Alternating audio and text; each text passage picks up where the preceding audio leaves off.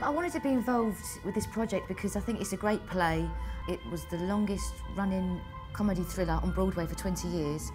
It's funny and thrilling and it keeps people on the edge of their seats, so it's, it's exciting. It's one of those plays that you think you know and you, you've heard about, and then when you read it, you go, oh my God, this is fantastic, you know, and it's two of my favourite things, comedy and scaring people.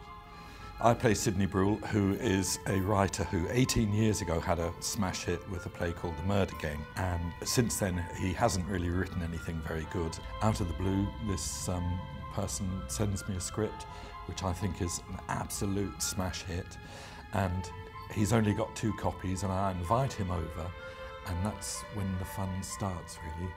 Lots of twists and turns. And Myra's someone that I think has always stood by him, but I think there's a dark secret there somewhere between the two of them. People should come and see Death Trap because it's a great thriller, it's funny, it's exciting, and it's shocking. Nearest to sort of like um, uh, going to a fun fair, really. You know, you sort of have that thrill of laughing, but also being terrified. You know, that's the thing I'm looking forward to, being in a room full of people who are just sort of, you know, uh, being tensed up. Is that all right to do to people? Tense them up. Tense them up.